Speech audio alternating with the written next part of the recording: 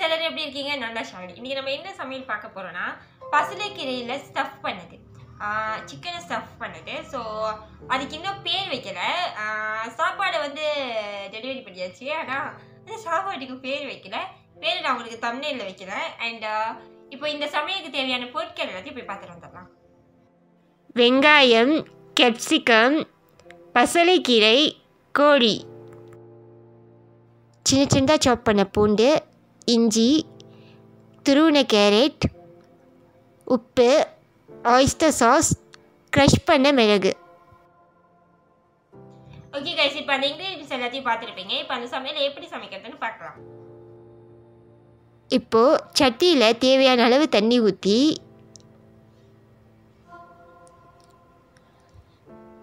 அதில் ஒரு பிஞ்ச் உப்பு சேர்த்துக்கோங்க.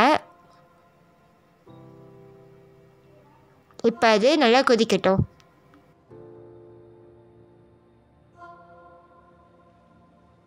இப்போது தண்ணி கொதிச்சிருச்சு. இதில் நம்ம எடுத்து வச்ச பசலைக்கீரையை சேர்த்து வேக வச்சிடலாம். ரெண்டு ரெண்டாக சேர்த்துக்கோங்க. இப்போ இதை அப்படியே தண்ணி உள்ளுக்கு அமுக்கி விட்டுக்கோங்க. நம்ம இதை வேக வைக்கிறதுக்கான காரணம் என்னென்னு பார்த்தீங்கன்னா இதில் தேவையில்லாத பாக்டீரியா அந்த மாதிரி ஏதாவது இருந்தால் வெளியாயிடும். இது பட்டுன்னு வெந்துடும் அண்ட் இதை ரொம்ப நேரம் வேக வைக்க வேண்டாம். ரொம்ப நேரம் வேக வச்சா இது ஒரு மாதிரி வள வளன்னு ஆயிரும் அப்புறம் சாப்பிட்றதுக்கு நல்லா இருக்காது.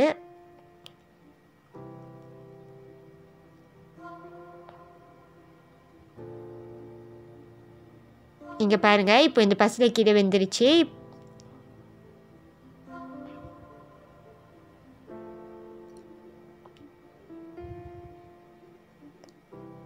இதில் உள்ள தண்ணி எல்லாத்தையும் அதில் வடிகட்டிட்டு இதை நம்ம ஒரு பிளேட்டுக்கு மாற்றிக்கலாம் இப்போ நம்ம சட்டியில் எண்ணெய் சேர்த்துக்கலாம். ரொம்ப எண்ணெய் சேர்க்க தேவையில்லை. கொஞ்சமாக சேர்த்தா போதும். ஏன்னா நம்ம தாளிக்கிறதுக்காக தான் எண்ணெய் சேர்க்குறோம்.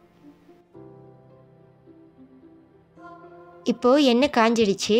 இதோட பூண்டு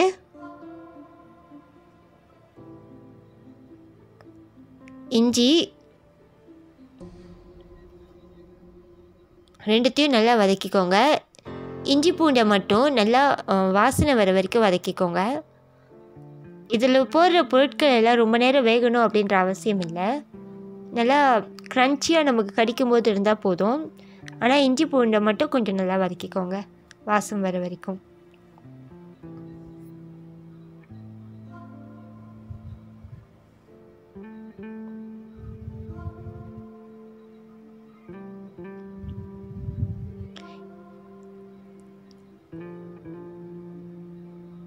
இப்போ இதோட வெங்காயம் சேர்த்துக்கலாம். சேர்த்து எல்லாத்தையும் நல்லா வதக்கிக்கோங்க.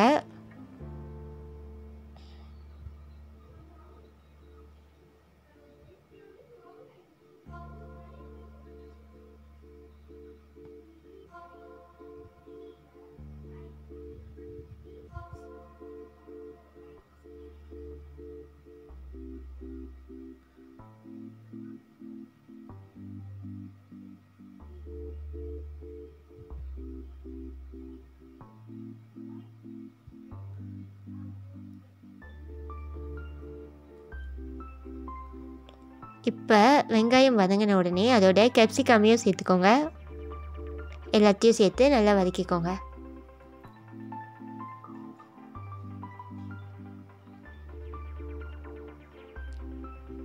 இப்போ இதோட கோழியும் சேர்த்துக்கோங்க.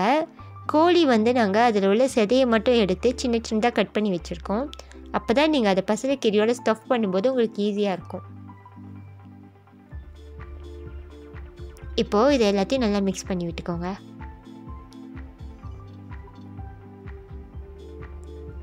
நல்லா மிக்ஸ் பண்ணி விடுங்க. நீங்கள் மிக்ஸ் பண்ணி விடும்போதே கோழி நல்லா வேக ஆரம்பிச்சிடும்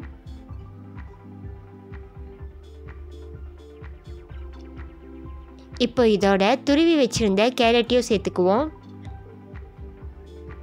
எல்லாத்தையும் நல்லா மிக்ஸ் பண்ணிக்கோங்க. இதில் நீங்கள் இந்த மாதிரி காய்கறிகள் மட்டும்தான் போடணும்னு அவசியம் இல்லை. உங்களுக்கு என்ன காய்கறி வேணுமோ அதையும் சேர்த்துக்கலாம்.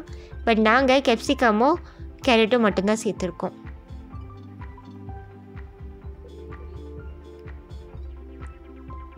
இப்போ இதோட கொஞ்சமாக தேவையான அளவு உப்பு சேர்த்துக்கோங்க.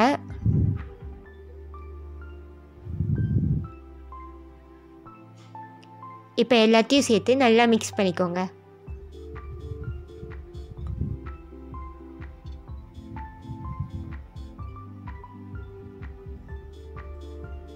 இதில் தண்ணி ஊற்ற வேண்டாம். ஏன்னா நம்ம தண்ணி ஊற்றணுன்னா நம்ம அதை பசலைக்கீரையில் போட்டு ஸ்டஃப் பண்ண முடியாது. இப்போ இதோட ஆயிஸ்டர் சாஸ் சேர்த்துக்கோங்க. இங்கே பாருங்கள் கோழி நல்லா வெந்துருச்சு. நம்ம தண்ணியே ஊற்றாமல் எல்லாத்தையும் நல்லா மிக்ஸ் பண்ணிக்கோங்க.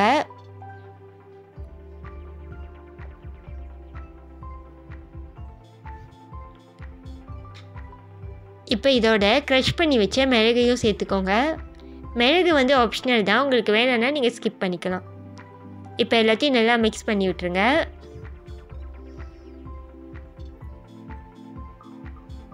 இது இன்னும் கொஞ்ச நேரம் வேகணும். இப்போ நம்ம பசலைக்கறிக்கு ஸ்டஃப் பண்ண சிக்கன் ரெடி ஆயிடுச்சு இதை ஒரு பவுலுக்கு மாற்றிக்கலாம்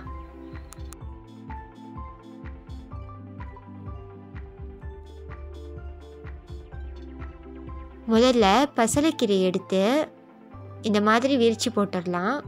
பசலைக்கீரையை நீங்கள் அவிச்சு எடுத்ததுக்கப்புறம் ஹாட் வாட்டர்லேருந்து அதை கோல்டு வாட்டர் போட்டு கொஞ்சம் நேரம் கூல் பண்ணிக்கோங்க. இல்லைன்னா அது வளவலன்னு ஆயிரும் இப்போ இந்த சிக்கனை எடுத்து இது உள்ளுக்கு வச்சிடலாம்.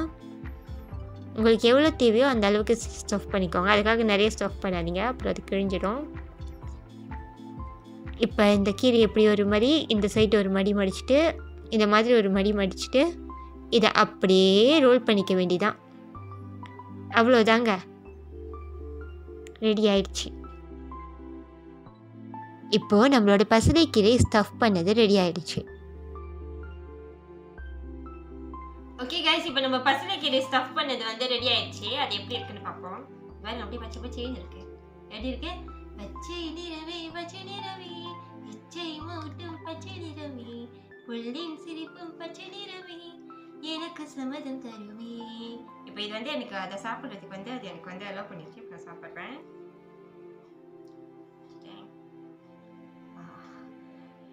இந்த படத்துல நான் பார்த்துருக்கேன். பீடான்னு சொல்லுவாங்கல்ல அது இந்த மாதிரி தான் வந்து இருக்கும். இந்தியாவில் உள்ளவங்களாம் வீடு எப்படி தான் இருக்கும்னு எனக்கு கமெண்ட் பண்ணுங்க. பிகாஸ் மலேசியாவில் நான் பார்த்தது கிடையாது. அப்படி நீங்கள் இதை சாப்பிட்ருக்கீங்கன்னா அதையும் கமெண்ட் பண்ணுங்க. இப்போ நான் அப்படியே வாங்க